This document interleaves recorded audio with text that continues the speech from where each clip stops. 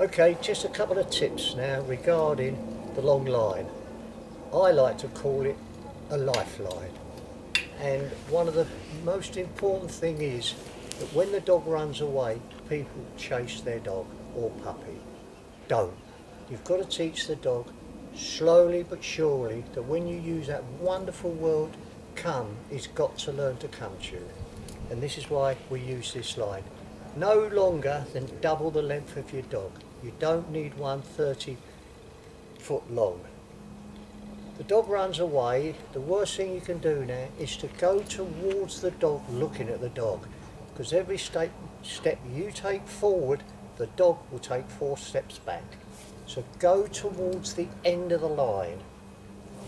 All you've got to do, walk towards the end of the line. Don't look at your dog. In fact, look away from the dog if you can. When you get to the end of the line, stand on the lead, pick it up, lower your body down if you can, and just call him to you with a wonderful two words, come, good come, good come. Not good boy, good boy, good boy, or good girl, good girl, just good come. After a little while of training the dog to do that, he will associate that wonderful word come with good or good with the word come. It's very, very important. Okay, that's the tip for today. See you later.